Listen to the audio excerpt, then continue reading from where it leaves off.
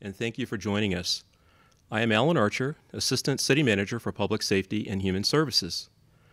I know you are expecting our Mayor, McKinley Price, and I'm sorry to disappoint you tonight. Mayor Price is the president of the African American Mayors Association, and just a few days ago, he was asked to preside over a meeting between Vice President Kamala Harris, White House COVID 19 Coordinator Jeff Zients, Chair of the Biden Harris COVID 19 Health Equity Task Force, Dr. Marcella Nunez Smith, and mayors from across the country. Mayor Price is on the call now, advocating for an increased number of vaccines and voicing his support for the equitable distribution of the vaccine. Mayor Price apologizes that he can't join us for tonight's important discussion and asks me to please extend his appreciation to the panel and to each of you viewing at home or at work. Now, we know there is a great deal of uncertainty, fear, and frustration in the community right now due to the COVID vaccine and how it is being distributed throughout the community. The purpose of tonight's virtual event is to update you on what healthcare leaders are doing to ensure every person who wants a vaccine has access to one. I am joined tonight by Dr. Mike Dacey, President and Chief Operating Officer of Riverside Health System, Irene Ferrainolo, Population Health Manager and Public Information Officer for the Virginia Peninsula Health District, and Jeff Johnson, Fire Chief for the City of Newport News. Our panelists will each provide a brief update and then respond to questions that you have emailed to us, as well as those in our Facebook feed. You can start posting questions now and keep them coming throughout the evening. We will not answer questions tonight about schools. Earlier this week, our superintendent, Dr. George Parker, shared the division's plans for students' return to in person instruction. The timeline identifies target dates for bringing students back to school in two phases, beginning with student populations who are most in need of in person instruction and support, returning on February the 22nd. The next phase will bring back students whose families have opted for in school learning. This in person hybrid learning model will begin on March 8th. Please visit newportnewsschools.org for more information. So now let's get to tonight's topic the COVID vaccine. Many of you have reached out asking when you can receive your vaccine and sharing your concerns about the distribution. I'm not going to I'm now going to turn it over to Irene to discuss the Peninsula Health District's distribution plan. Thank you for the inv- invitation and the chance to share the panel tonight with the significant partners in the response to COVID and distribution of the COVID vaccine here in Newport News. Hoping that by giving a very brief overview of the process we use for registration and uh, appointments for vaccinations and distribution, that that will answer some of your questions in advance. If not, if your questions aren't answered, please call in, type them in so that we can address them. Step one for vaccination through the Peninsula Health District is to register with the Peninsula Health District on our website. There are four portholes or boxes labeled on the website. One is for 1A healthcare workers, one is for people over 65, one is for people 16 to 64 aged who may have an underlying medical condition, and one is for essential frontline workers, and that includes both public and private school teachers and child care providers. If you do not have internet access, you can use our vaccine call line, 757 594 7496. Newport News 311 has also graciously offered and is assisting eh, callers to that number who may not have internet access. They will register you into the system. You can be assured that you are registered if you're working through 311. This is new, you will receive a confirmation that you are registered if, in fact, you have internet access. I do want to alert you to a change that is coming because this has all been about change. Virginia Department of Health is moving towards a centralized registration system. We're in the process of doing that this week. We're one of the pilots. And dro- over the weekend, so f- Saturday through Monday, you will not be able to register online or by phone. It'll open up again Tuesday, hopefully, to a brand new and much more user friendly and responsive system. Step two, I'm sorry to say, is to wait. Here are some of the numbers.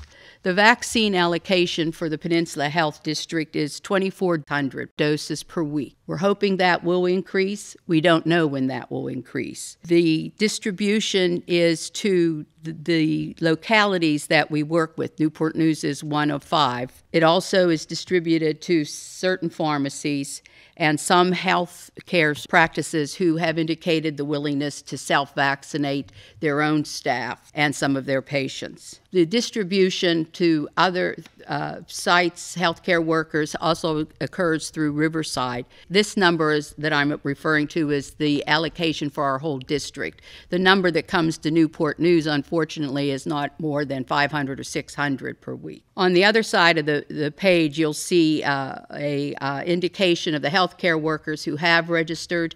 Healthcare workers who've registered has been a little over 13,000 but we have whittled that down, some of our own, much more by the Riverside Health System and their work with their healthcare providers and the, within their system. We also, at this time, have 13,000 people over the age of 65 registered. There's 62,000 of you in our district, but 35,000 of you have registered. We have about 2,000 people in the 16 to 64 category registered, and right now we have uh, about 2,000 private school teachers and child care providers. Although it doesn't make you feel any better, it doesn't help you know when you'll be vaccinated. I did want to share with you the numbers and, uh, and the reality of the problem of distribute, distributing vaccination to this large of a group in, pop, in this population. Once your wait is over, you will you can make an appointment. If you've registered through the internet with your email, you'll receive an invitation to register to schedule an appointment through the internet. If not, you'll be called by phone. The fact that your contact is by phone does not put you any lower on the list. Everybody is scheduled in the order in which they registered. There's a time stamp on every registration. I encourage you to keep your appointment. You might think that's a no brainer. Uh, we thought it would be a no brainer, but we've been somewhat surprised by the number of people who call and then ask to reschedule their appointment. We appreciate that this is there are many aspects to your life, but I we also want you to appreciate the effort it takes to appoint you, schedule you for an appointment, and hope that you will do everything you possibly can to make a keeping that appointment your priority. We want you to know that there is no residency test. We might ask, that is, if you live in Newport News, or don't live in Newport News, we will not turn you away. Some sites will ask you for an ID because it just makes registration easier. My last name's Ferrainolo. It's much more easy for me to turn over my ID badge and have her type that out than for me to stay through my mask, I don't know how many times, F is in Frank, ERR, etc.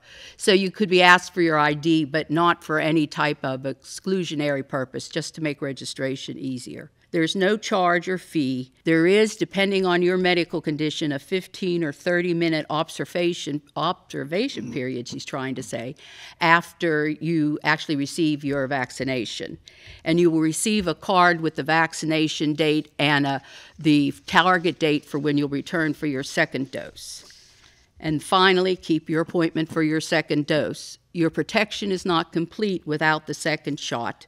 If you traveled out of the county, the city, or the state for your first dose, you will be asked to return to that site for your second dose. We will try to accommodate you as much as you, we can, but given the current supply of vaccine, it's very important that people are vaccinated for their second shot where they received their first shot. That's a real brief summary of how things are working with us, and I look forward to your questions. Thank you, Irene. The Peninsula Health District partnered with the City of Newport News, Newport News Public Schools, York County, York County Public Schools, and Riverside Hospital System to vaccinate essential personnel and first responders at a temporary site at Christopher Newport University. This is an important step in ensuring the continuity of city government, protecting those on the front lines, and reopening schools. Riverside played a pivotal role in the success of our clinic. Dr. Mike Dacey with Riverside is now going to share some information on the vaccine and how they are distributing it throughout the community. Thanks very much, and, and thanks for tuning in. Um, I just wanted to spend a few minutes talking about some parts of the vaccine that pe people have questions about. I guess the first thing to say is that for the first time in almost a year, uh, the, the news about the pandemic is getting better. Uh, certainly, the vaccines are one uh, very important um, advance, and honestly, a year ago, nobody felt that you have a vaccine right now. I mean, it's been it's happened very, very quickly. It's been a great scientific advance, and uh, it's it's a wonderful accomplishment of all the researchers and the people that got the vaccine. Um, and also important to understand that our under our ability to treat patients who get COVID is so much better now than it was uh, a year ago. Uh, if you are unfortunate enough to get COVID and you're hospitalized, your chances of dying dying from COVID compared to the way it was uh, a year ago, they're down over 80%. And so a lot of advances have been made. I'm an intensive care physician, and, and a, lot, a lot of the ways in which we take care of COVID patients, so much better now than, than it was a year ago. But the vaccines offer really, really tremendous uh, hope. And just to be um, just to be specific about it, uh, these vaccines are in incredibly, incredibly effective. They're the most effective vaccines in history. In history, uh, usually a good vaccine protects you about 50, 60 percent of the time. These vaccines protect you 95 percent of the time, and they protect you 100% of the time from getting really serious life-threatening disease. So they're tremendous vaccines, um, and you know there are a number of manufacturers. One is Moderna, a company out of uh, out of Massachusetts. The other is Pfizer. Um, both are equivalent vaccines in terms of their effectiveness and their safety. Uh, when you look at the studies that were done in these vaccines, they, the initial studies, when you put them all together, studied all, over 100,000 people in a very carefully controlled way.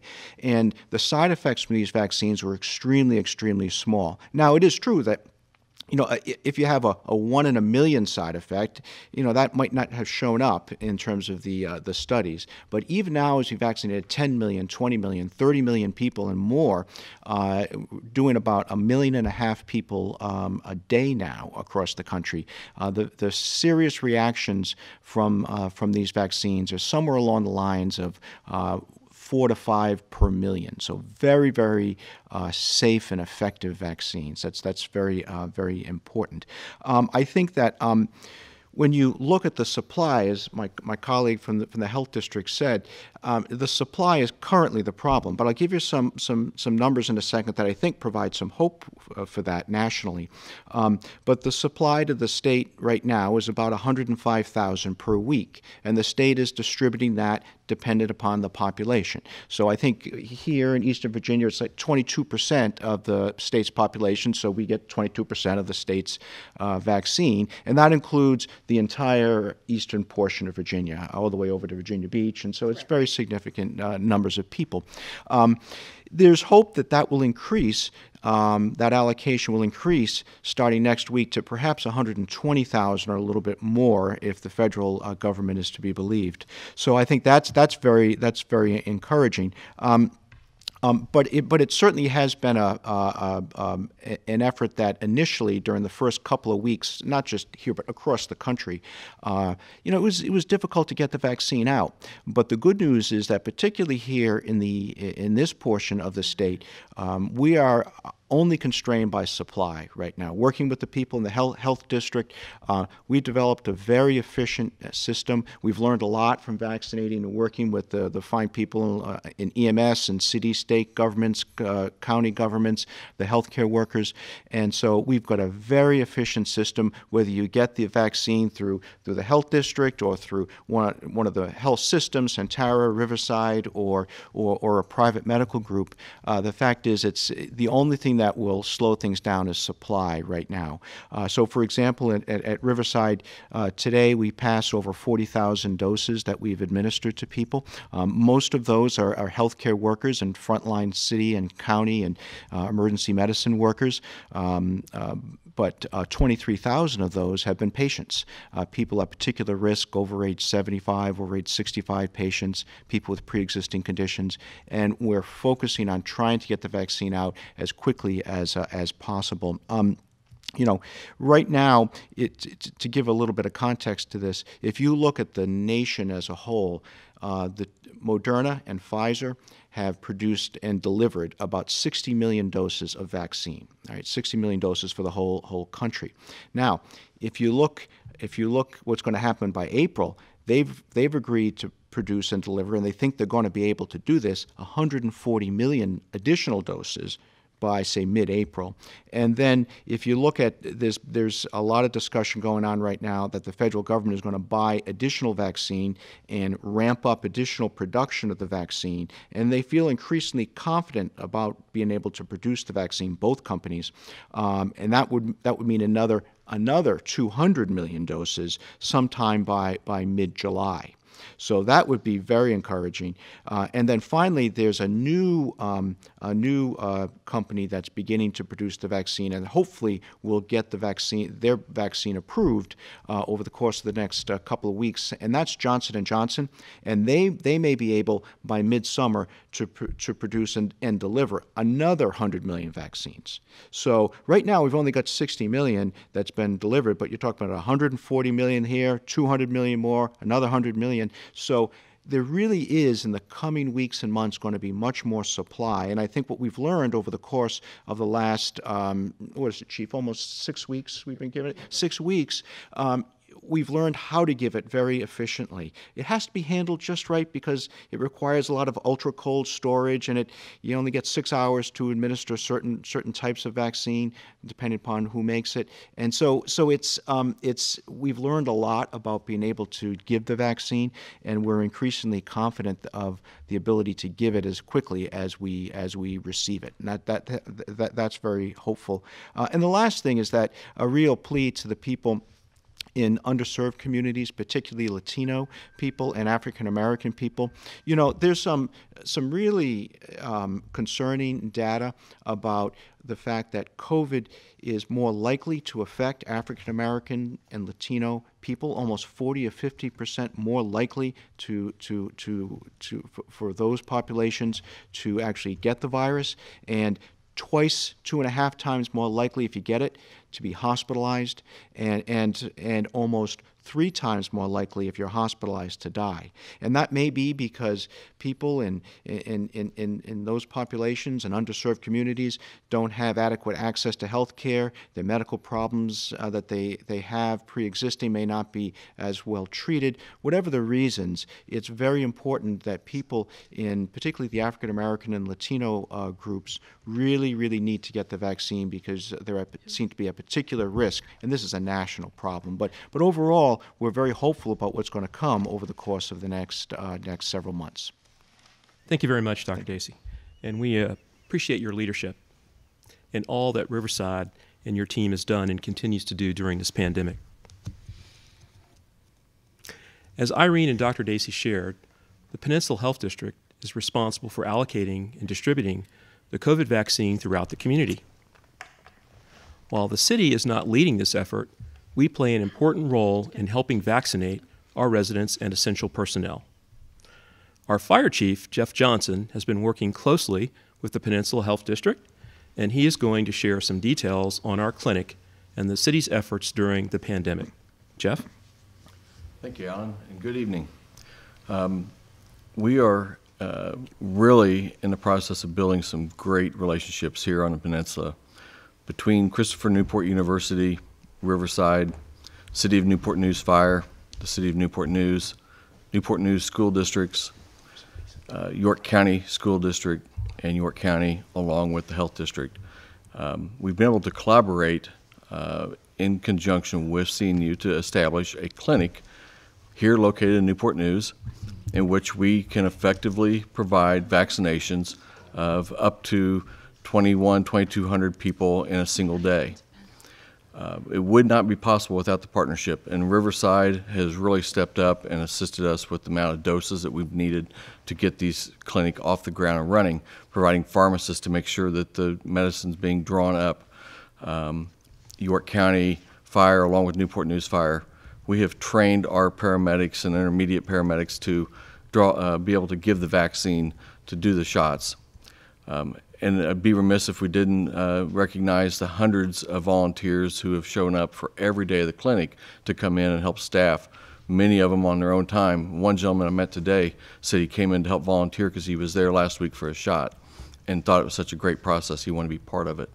None of this would be possible if it wasn't for the great cooperation and work of the group um, to do what's best in trying to get these vaccines in the arms.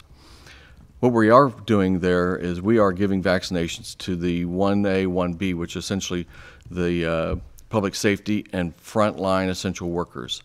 And we're trying to get that in a very uh, cooperative manner. We're drawing numbers from each of those localities that I've mentioned, including school teachers, school nurses, to make sure that we are building a foundation to start getting our community back to norms. Um, the uh, the process is very simple, as you heard earlier from the health district. Um, we've got a link that's online, and people are able to register for the clinic. Uh, up to this point, it has been a line, a link that has been sent out to the essential workers and frontline employees of any of those jurisdictions to sign up and get their vaccinations. Um, members will sign up, they'll get a registration, then they will show up to the to the clinic, and initially confirm their registration. Then they go through a COVID screening to make sure that no one's exhibiting any signs or symptoms that would put anyone in the clinic at risk. Once that's been cleared, they move on down and to a final registration point to ensure all the information that they have listed for themselves, um, because everyone getting a vaccine goes into the national database for this. So everyone's making sure the name, everything is correct. Contact information is very important, making sure that's correct and then they are sent into the vaccination room. And uh, they're in our clinic. We've got set up 15 different vaccination tables where there's a vaccinator and then an assistant with them who takes uh, and confirms the lot numbers on the vaccine, confirms the location of the shot, and confirms who the person was that gave the vaccination. Um, there's a screening real quick that the that the vaccinators will uh, go through to make sure uh, if you've had any prior side effects or any symptoms, those type of things, then we know whether you wait 15 minutes or 30 minutes, those type of things. Um, all of our vaccinators, again, as I said, are paramedics um, from Newport News Fire and York County Fire, and uh, they have volunteered, signed up, and on average we have 15 a day. We also are utilizing school nurses from Newport News and uh, York County schools to help provide those vaccines. So we're always ensuring that we've got a good staffing for vaccinators. Once the shot's been administered, person will then go into a, a small area where they will uh, wait for 15 minutes if they've had no previous uh, side effects from uh, either vaccinations like the flu or those type of things, or any type of uh, anaphylactic type reactions, allergic reactions. If someone has had some of those reactions before, or typically don't feel real well right after the flu shot, um, it's sore, um, they'd feel nauseated, then sometimes we will hold them for 30 minutes and they go over into a little separate area. Um, that entire room is monitored by nurses, medical staff, and volunteers just observing to ensure that everyone is safe and uh, understand the process. After waiting their 15 or 30 minutes, they check out and they are completed and they go home. They get a date when they leave, uh, advising the first possible date for them to get their second shot. They will be notified by another email that will identify a date and time that's available, and they can click on that and make their next appointments. And those will be going out sometime soon. So this whole process I've explained, um, believe it or not, has become so efficient that from walking into the door to getting out, including your 15-minute wait time or your 30-minute wait time, is running somewhere between 20 to 25 minutes to about 40 minutes. It is that efficient. And it wouldn't be possible again without the partnership of the health district and Riverside really giving their staff to the freedom to come over and help work, and the school district, just everyone coming together as a cooperation. And CNU has been so um, uh, diligent and uh, supportive in providing a facility and support staff to make sure that that clinic uh, area is clean and operating at all times at high efficiency, ready to go. And keep in mind, we maintain all of the normal COVID uh, precautions. We require everyone to have masks. We make sure when you're coming in the door, there's social distancing of six feet between people. That's why appointments are staggered to ensure we don't have a large line. Uh, your temperature checked, and you're asked multiple questions about COVID screening. So it is a very safe clinic to come into. It's very efficient, it's very effective, and uh, we've got a great partnership, and we are proud to um, be rolling this out here in the Health District and in the Peninsula, and in particular Newport News at CNU with all of our partners. So um, we're very excited about this partnership we've built. It's effective, it's safe, and we're continuing to get more vaccines. And you've heard the more that are coming in the pipeline, so we'll continue to get vaccines out to our individuals. Yes. Well, Alan's going to do a. I, I want to um, just take a moment to, to echo uh, what Jeff has shared with you. Uh, he makes it sound easy, and uh, nothing about this process is um, easy. But the reason that we have been successful here, and the governor during his uh, recent visit uh, acknowledged uh, how well run our clinic was during his visit and has been, is because of the partnership. Uh, you've heard an emphasis on that word tonight, and that's for a reason. I couldn't be prouder of the team that we have assembled to take on this challenge. And it just didn't begin uh, with this clinic. We have all been uh, on the front line uh, figuring out together uh, how we can strategize and position our community to be uh, safe and to receive, in this case, the vaccine that is needed uh, for everyone to remain safe and feel as though they are getting the kind of care and attention that they need in this community. Uh, and it started with the pandemic outbreak and all of the planning that went into assuring that this community uh, could uh, practice all of the necessary practices and remain safe. I just want to share with you that that partnership has continued, and we couldn't be prouder of all the partners uh, throughout this region that have come together to position us to be in this very place at this time so that we are ready to receive additional vaccine and push it out to the community as soon as we can. Now it's time to take your questions from our residents. Sarah Bowman from our Communications Department is going to share the questions you've posted on Facebook, as well as the ones that you emailed prior to tonight's event. Sarah? Thank you, Alan.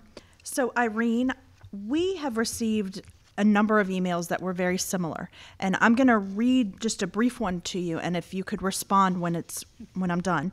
Um, but this one is from Patricia, a Newport News resident. Um, I understand there is a limited amount of vaccine, and health and essential personnel and elderly and compromised individuals need to be first in line and receive it as soon as possible. I don't mind waiting patiently for my turn, but I want to make sure I'm in line and make sure I'm in the right line. I filled out the online sign up form with the Peninsula Health District. I received an email saying my information had been received. I am 69 and healthy. My last name begins with the letter V. So her question is Can anyone give her an estimate of how long it will be until she gets notified? And then how will people know when and how to register? I don't know when you registered, but right now, at this current vaccine supply, the wait between registration and notification for an appointment can be as long as four to five weeks. You will, re- if you registered via email, you will receive an email notification that will include some options for your appointment. That is, you'll receive perhaps a list of four or five in a ro- uh, times in a row, and you can select self-select that. You'll push a button, your name will be prop, uh, filled in, and that's your appointment date. You'll get a confirmation for that as well, so you'll know that it's happened, that you pushed the right button and it went through and it worked. If you um, if you registered through phone because you don't have an internet, we have uh, one more wonderful partner, uh, folks from the Medical Reserve Corps who staff our call center and make phone calls. I can't tell you how many phone calls every day to appoint the people who need to be notified by phone. So the I I I understand how um, frustrating it is, and some feeling somewhat like your your registration's out in a void somewhere. But we do have it. We're appointing people in the order in which they registered. eh, But the wait time right now, if vaccine level doesn't go up, is about four to five weeks from your registration date. Thank you, Irene. Um, can you explain why Tidewater Physicians Multi-Specialty Group, TPMG, has been left out of the COVID-19 vaccine distribution? Well, the, the fact of the matter is that they have received vaccine from Peninsula Health Department, about 600 doses right now. Now, that is a drop in the bucket. This is, as, as we've all been saying, it's about supply. This is all driven by vaccine supply. They have over 18,000 patients who are over the age of 65. So that 60 doses, 600 doses would not have gone very far into the folks in their practice at higher risk. As vaccine becomes available, those medical uh, practices that are not associated with one of our health systems will receive vaccine as fast as we can give it out. In fact, that's the better way for it to be delivered, and we recognize that because those folks are already in their patients and are in their um, uh, records and are known to them uh, and can more easily be reached by them than we can, sometimes through their electronic chart. Dr. Dacey, we've heard a great deal about Riverside patients being vaccinated. Um, will you be opening your clinics to the general public? Yeah, so what we're doing right now is, uh, starting today, we've, we've increased the ability to schedule an appointment, all dependent upon supply, to anybody who's been seen at Riverside over the last, over the last 12 months. So, for example, to, uh, with respect to the Tidewater Group, that would include over 10,000 people in the Tidewater Group. Now, remember what we said about supply you know? So supply is the real is the real dependent uh, the real critical uh, issue here. So when you look at all the patient patients that we've opened up appointments to be scheduled for as of today it's it's it's approaching 100,000 people. And as we said the the um, the the supply of the vaccine for the area is only 2,000 a week right now. Now as that may you know, a month from now, that number could be 10,000 a week if, if, if supply goes up. So we're really opening up to be able to schedule people now that the healthcare workers and the frontline essential workers have been have had the opportunity to receive the vaccine. The other thing that we'll be doing relative to what I said before in terms of uh, uh, underserved uh, people uh, in, in, underserved communities uh, is we're working with the health district to try and have specific outreach to those groups of people who really are particularly vulnerable. And so we'll be having direct, specific outreach, and we may do some some vaccine clinics. In fact, we are going to do some vaccine clinics in some some areas of Newport News that that are particularly vulnerable, and we'll work with the health district to set those up over the course of the next uh, several weeks. Great. And once we have that information, we'll absolutely share it on the city's website and social media channels. And Dr. Dacey, back to you with another question we received. How long is the vaccine effective? Will we have to do this every year and, and go through this annually? So no one knows the answer to that question. Uh, it's um, it's believed that likely is effective for approximately or, or at least a year, but that's an estimate. That's an estimate. And this is a it's a new virus. The vaccines have been recently developed, and so we just don't have a lot of experience in terms of how long the immunity will last. But you know, the the, the experts that I've read and, and listened to say it's it's it's at least a year, which gets to the question of will will, will you need a vaccine uh, every year like you need an influenza vaccine? And I think the the sense is that there will need to be follow up vaccines given, whether it will need to be every year or every other year. We're not sure. A lot of these new mutations you might have heard about um, speak to the fact that the next version of the vaccine probably has to be modified a little bit. The current vaccines are, are still quite effective against the, the British variant and the Brazilian strain and the even the South African strain. But um, but there's likely going to need to be vaccines, if not every year, uh, at least every other year, from what I've, I, I understand. Thank you. And Irene, another question for you. This is from Facebook. Steph says she used the Google Forms to sign up a few weeks ago and never received a confirmation email. So she resubmitted the Google form this week. Was there a glitch previously, or did her first information, and we did receive this via email as well. So if people did not receive a confirmation email, does that mean that their first attempt didn't work? No, no, it doesn't. Uh, when we first set up the system, we did not put in a response.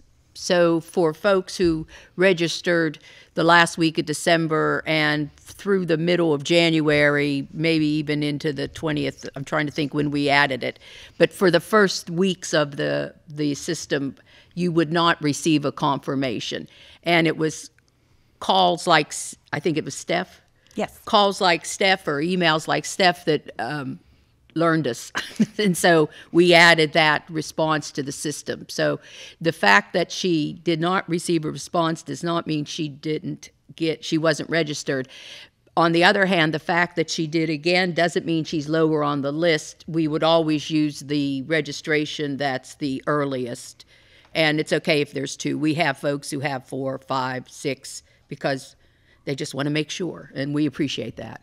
Chief, Cecilia on Facebook said she received the first Moderna vaccine at the clinic. She was she said it was well organized, um, and she received a card indicating a date of February 26th to receive the second dose. Um, you already mentioned this in your remarks, but could you just reiterate how will people be notified if they received the vaccine at the clinic when it's time to go back?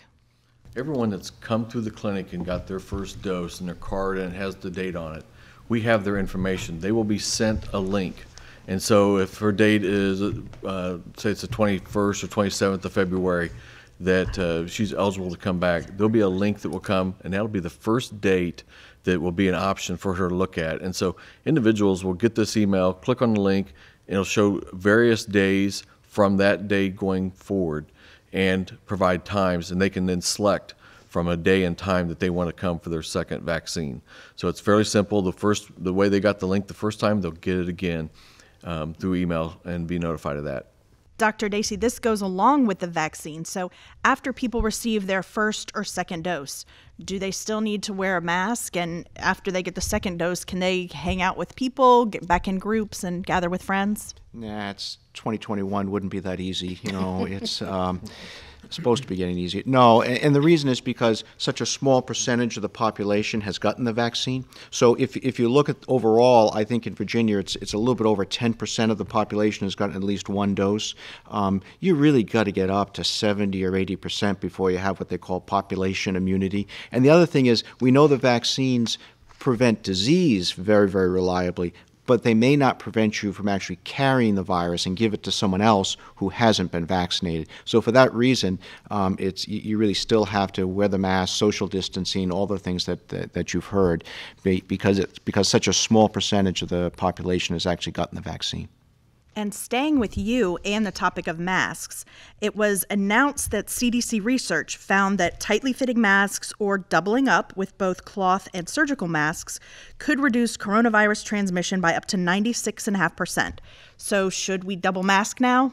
Yeah, you know, my spouse is a physician, and we argue about this all the time. I mean, I wear one mask, um, she wears two. I mean, I, I, I, think that there are a couple of things. The, the study you're talking about was was released today. It wasn't so much a study as a as a as a demonstration. They took mannequins and and figured out how many uh, were two masks more effective at preventing droplet you know droplets coming out through the mask and intuitively it is it is more effective um, but most importantly people need to be wearing at least one mask. That's that's the important thing to start with. And if you're so uncomfortable with two masks that you end up taking it off, that doesn't help at all. So uh, I think yes, it likely if I were um, say I was going to you know get on an airplane and go across the country, I probably would wear two masks. You know, uh, or if um, uh, if I were particularly vulnerable. Uh, but the important thing is to wear a mask. That's, that's, that's, that's the most important thing. There's a sense that these kinds of masks, the surgical type masks, probably are, are more they are more effective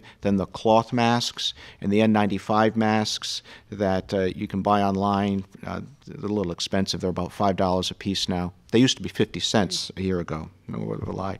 Um, the N95 masks are the most effective masks uh, of all. But long-winded way of answering your question, yeah, it probably is more effective, but you have to wear both masks. You're better off wearing one than taking two masks off. Right. Thank you. Irene, is the Peninsula Health District going to open up mass vaccination clinics for people in Group 1B who are 65 and older? As soon as there's enough vaccine to do that, we certainly will. We're, I would, I anticipate the system re- still relying on appointments and just to control the crowd or the mass when we do are able to have very large events. But uh, again, it, it, it depends on um, the vaccine supply. I, I'm old enough to remember sugar cube distribution and lines at the elementary school. And I look forward to the day when giving the vaccine uh, vaccination is just as simple and straightforward as that without so much uh, paperwork, follow up, whatever, that it's a more straightforward process. But we're not there yet and won't be until there's really widespread supply of vaccine. Thank you. And this message or email came in for Chief Johnson, but it really could be addressed to anyone if, if whomever wants to respond. If I received a Moderna vaccine at the clinic, at CNU, or wherever else, will my second dose be a Moderna vaccine? I can go ahead and answer that. Um, Yes, um, absolutely. Um, It's been one of the recommendations early on, and we tell everyone that comes through the vaccination clinics that whatever type of uh, vaccine you get, your second dose needs to be that same vaccine. So if you're getting Moderna, your second dose will be Moderna. If it's first dose, dose is Pfizer, your second dose will be Pfizer. We don't want you mixing them up. And so that is what's important about the ID cards that we give everyone, the registration card, and it's got the lot number. It also says whether it's a Pfizer or Moderna. So as, as vaccinators, as clinic operators, as people are coming in, we are checking to make sure which uh, product, which vaccine you received, and make sure you get the right one. So yes, you absolutely want to get the same one for your second shot. And speaking of the second shot, um, Irene, can you talk about how people who receive the first, first vaccine, how confident they should be that the supply will be there for the second vaccine? they can be as confident as you can be about anything right now. But I will tell you that all the planning for the clinics, the first shot clinics, always was done with the amount of supply we would need to be able to be sure that we could provide that second shot no matter where they received it. So I we are just moving into the realm of second shot. Um, from where we started and whether it was Pfizer or Moderna, whether we're four to three weeks out. And our supply that we'll receive next week is much higher. Not that number I gave, that's still the first shot, but we have sufficient supply to start providing the second shot. That was a formula that a greater mind than mine figured out before we launched the whole vaccination program.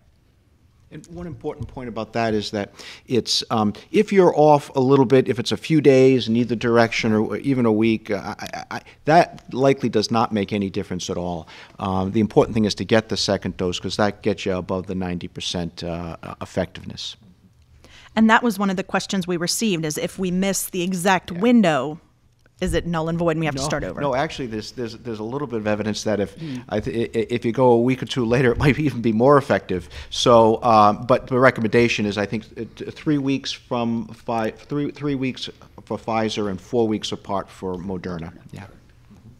And staying with you, Dr. Dacey, we've heard from people who are concerned about receiving the vaccine. Um, we've heard about people having side effects and, and other things. Um, is it safe? Oh no, it's a very, very, very safe vaccine. Um, you know, certainly as you get into the 30 or 40 or 50 million shots that are given, you'll find the rare side effect uh, that, that comes up that wasn't picked up in the studies.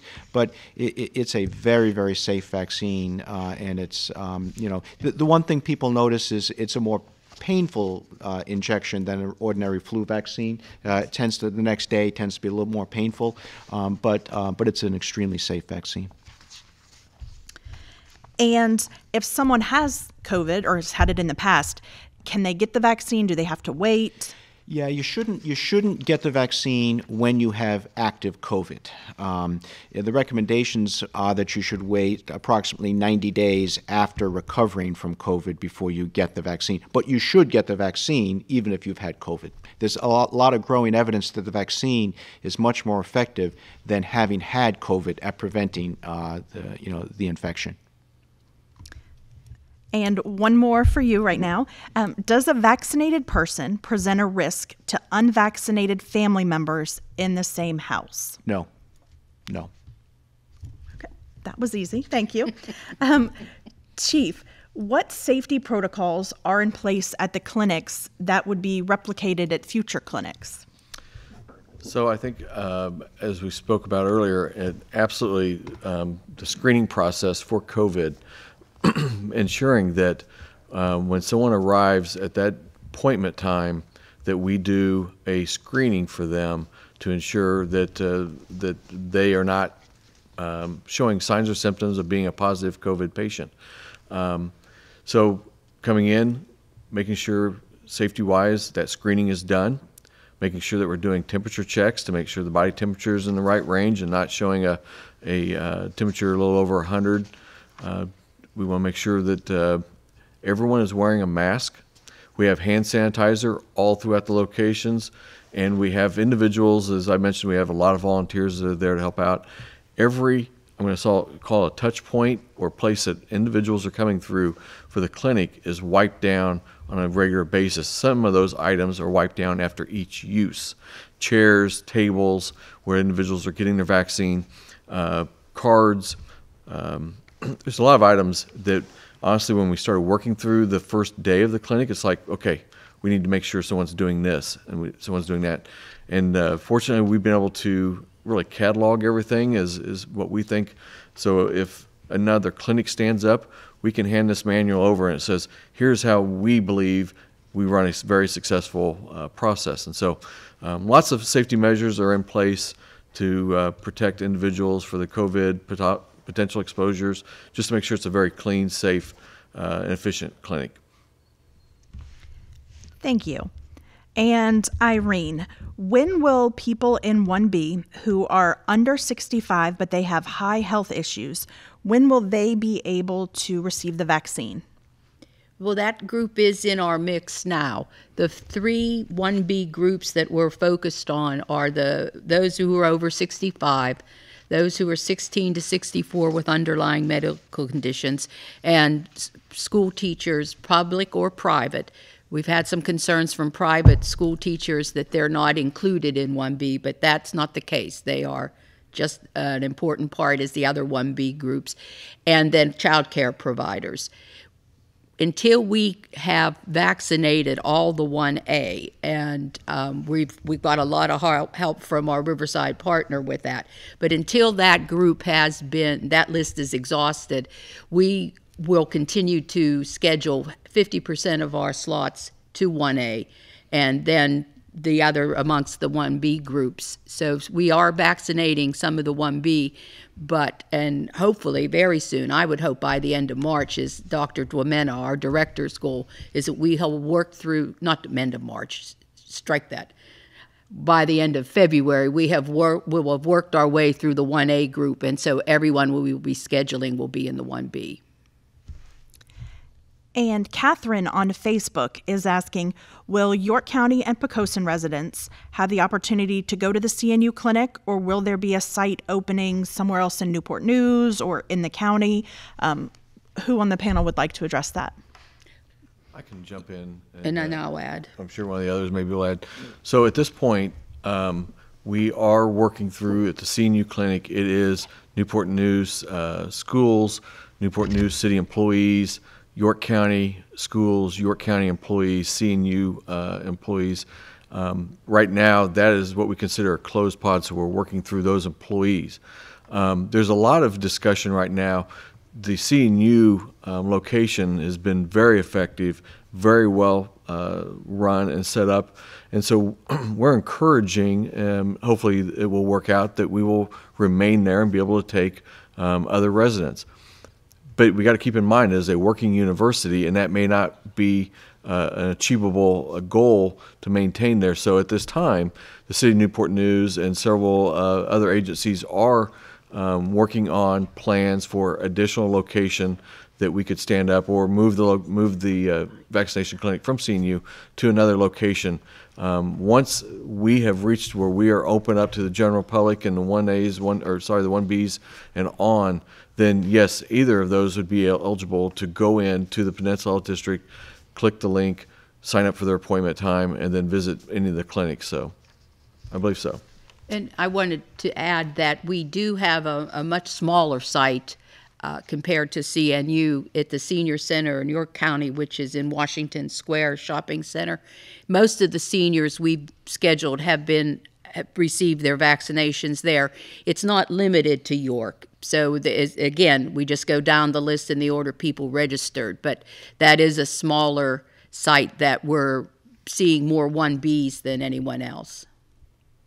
And getting the vaccine to our vulnerable populations is essential, um, including those who don't have access to reliable transportation. Um, Dr. Dacey, you spoke about how you're trying, Riverside is trying to set up clinics um, in these areas. Can you just reiterate what you're doing in that aspect? Yeah, so we just had a, a in fact, a, a good meeting about that today, and uh, we're working with um, the Achievable Dream campus. We're working with with a number of the free clinics, all in concert with the with the health department and, and the health district, to try and set up those clinics in in areas that are that are more accessible to people in those communities. Uh, it, it'll be um, probably a, a couple weeks before they're fully set up, but it is something that we're actively working on. Absolutely. You have to bring the vaccine to the people, not expect everyone to come to the central location. Ma'am. In the meantime, we have a number of partners who have stepped up and are helping us make sure that those folks are registered so that they're not missed when we do have an event.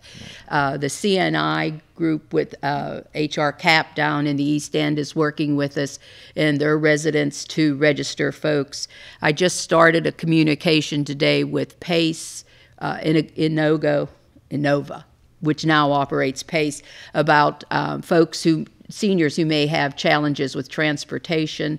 Uh, the, city of Newport News has a very vibrant Hispanic advisory group. We've we've started working with them to make sure that those who don't have English as a first language are registered. We want to make my goal uh, as the population health manager is to make sure as many people are registered and known to us and in place so that when we can pull the trigger on these small clinics, we've got folks we can populate without any trouble.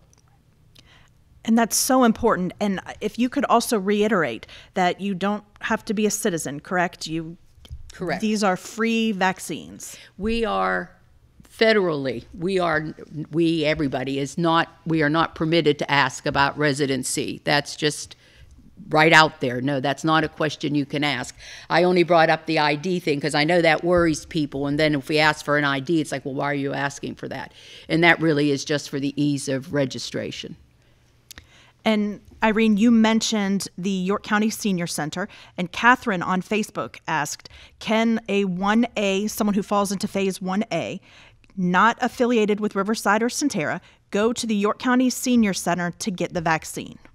yes but that by appointment How do they get an appointment?" are they registered with the health department She did not put that in the message. We'll assume if that she's she is. registered, if she isn't, please do. If she is, then uh, I have a lot of faith because of some things that are going on. We'll be able to get the 1As vaccinated through our allotment or gift vaccine, as we like to call uh, surprise supplies of vaccine from other sources, that we'll be able to do the 1As. But it's important that she's registered. Someone has to know how to get her onto a schedule. And someone, Jan on Facebook, asked a great question. So, when the new Virginia wide registration system comes online on Tuesday, will people have to register again, or will existing registrations be transferred in their current order? Oh, thank you, Jan. You just saved us a lot of worry and people a lot of frustration. No, you do not have to re register. The registration that takes place either at our website or at the state website all, I, I don't know a better word, dumps into the same database. And the those who register at the state site who are residents or who have addresses in our localities will be sent to us. So it's going to be a shared uh, database. So no you do not have to register again And we have heard from people on Facebook um, who Steven's daughter is a nanny for a family. Um, how does she prove her child care role? And another person is a self employed healthcare worker. So, how do they prove their roles to get a vaccine? We've had this conversation, and if the other panelists have too, and right now we intend to use the honor system. but if you tell me you are self-employed um, care uh, uh, care provider, uh, if you say to me that you are uh, a nanny, although I have a little bit with nanny, but anyway, because that's a more closed. The thing with child care providers and teachers is they, like essential frontline workers, are exposed to more people than someone who might be working in a um, in a closed environment in a home. But we're not telling anybody not to register. So by all means, register. His daughter was it? Yes. Yeah, have have the daughter register. Best thing you can do is register. We'll sort it out. And on the registration, when it, it gets dumped into that big system, do you just take people in order of their registration or how do you sort through that list? It's, it's by order of registration. The only um, deviation from that, some medical groups have registered with one point of contact and then have let us, let us know, but we have 18 employees. So sometimes the way the schedule's configured, that person, uh, that point of con, we would see that, oh, wait, we have a block of 20. So we would send that person, the point of contact, the block, and then they would fill it in. That might jump over one person who, oh, I have 23, but we didn't have room for them. But they'll be the next ones in line. But we work very, very hard to make it as fair and uh, equitable and as we can possibly make it. And Dr. Dacey, we have heard from people, again, who are concerned about the vaccine. Could you share again what are the most common side effects? And then also answer if someone doesn't have side effects, does that mean the vaccine didn't work? So to answer the second part first, no. Um, people people who don't have side effects, the vaccine is still working, no question. Um, most side effects are mild. The top three are pain at the injection site, mild fever, and chills. Particularly more likely to happen after the second dose than the first dose. Thank you. And this is the last question, and I'm actually going to open it up. I'd like each panelist to respond. And Alan, I apologize that you haven't received any questions. I know you're probably glad to not have been in the hot seat. um, but I'd like to start with you if we can. And if each panelist could answer, what do you say to people who are considering not getting the vaccine? Well, hopefully, for those who are trying to make that uh, decision, you've been able to hear from some of the experts uh, here tonight from our medical community. And uh, I really would encourage um, uh, anyone finding themselves in that position to talk to a medical expert. Uh, if they do have questions about the vaccine or they simply uh, don't understand or they're afraid, those are all legitimate concerns. Uh, you know, please seek out an authority uh, who can help you address those questions that you may have. And um, I would, would encourage, uh, again, anyone in that situation to find those uh, answers um, to, to questions that they have, and uh, certainly would encourage individuals uh, to uh, pursue um, vaccination. I would second all those remarks. The best person to talk to is your primary care provider.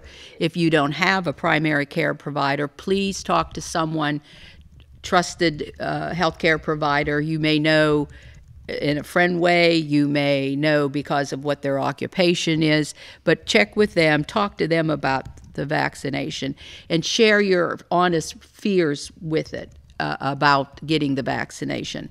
I will tell you all that one thing we are finding even if in our own work group, and we're the health department, that people who were vaccination reluctant, as they see more and more people receive the vaccine and survive and not have um, serious uh, side effects, then I then they step up and say, yeah, you know, maybe I will. So one of my hopes is that more as more and more people become vaccinated and have a positive story to tell, that those who are reluctant will decide to go ahead and be vaccinated because it is the best thing you can do for yourself and for the people you care about.